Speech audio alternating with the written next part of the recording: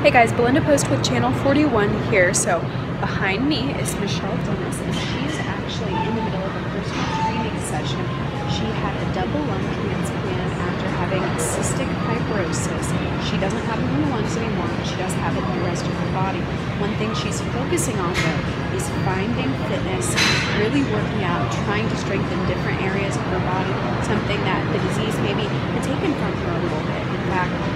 Really working on getting those legs strong. Right now, she's doing an arm exercise and she is doing that through personal training, just really trying to find her best personal self.